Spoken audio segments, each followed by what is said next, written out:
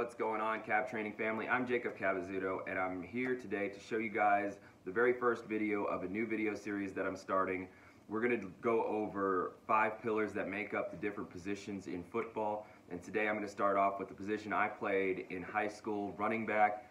Um, you guys really seem to like the running back drills videos that I put up, so today I'm going to go over the very first pillar that makes up a great running back, and that one is vision. Without vision, you guys can't make your linemen right, you can't make yourself right, and you can't pick up those sure yards on the field. So in this video, I'm going to tell you guys about the balance between knowledge and reaction of a play and give you guys a few drills that you guys can do to improve your vision and improve your reflexes so you guys can gain more yards every single running play that gets thrown your way. Make sure you guys subscribe to Cab Training and like this video if you guys found it helpful.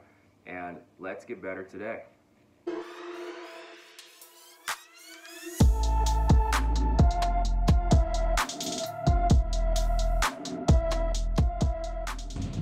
So as I was saying, there's a fine line between knowing what to do on a play and executing it and being creative and picking up yards and being a playmaker. A lot of the times you hear you want to feel like you can score every single play. But there's also that other school of thought that, okay, you can't do that. You have to pick up the sure yards. You can't try to make every play a game breaking play because you'll end up losing yardage. So often, even in the pros, you'll see someone bounce it outside and end up losing two yards when they could have just cut it inside and gained maybe three or four. Sometimes there's those smart runs that you guys have to do and those big runs that you guys want to do and you guys have to pick the needs over the wants sometimes. One of my biggest tips I can give you guys is just knowing what to do, knowing the objective of each run play. Whether it's a power, counter, trap, inside zone, or outside zone, you guys need to know the objective of the play. If it's an inside zone, you are a little bit more creative. You can bounce it outside, bounce it inside based on where your offensive linemen's uh, rear ends are facing. But when it comes to a trap or a counter or a power, there's usually a set path, one or two paths that you are supposed to go into that you are supposed to follow. So make sure you guys know what to do on each running play that you guys are thrown to. Or should I say handed off to. But anyway, now let's get into a couple drills that can impact your vision and help you guys read plays and react a little bit better. For both of these drills that I'm about to give you guys, I highly recommend you guys having a coach or a teammate or your younger brother to help you out with this drill. Um, so for this first one, we're going to have two rows of five cones, basically, basically simulating an offensive line or two, two sets of gaps, two lines of attack.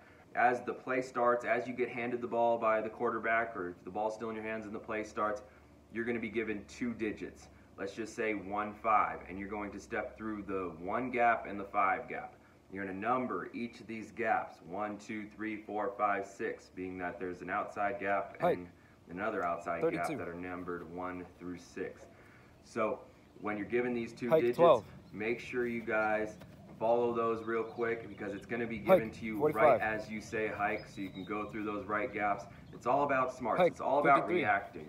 And all I'm looking for here is just being efficient. Hike efficiently 35. going through each hole, using lateral quickness, but also being smart. Drill number two I covered in my latest running back drills video, I believe, and it's just basically reading a defender's hips. And it, reading hips is a huge part of vision because you got to know which direction a defensive lineman's hips are facing. So just in case he can flip his hips and reach out and grab you from an open hole, basically.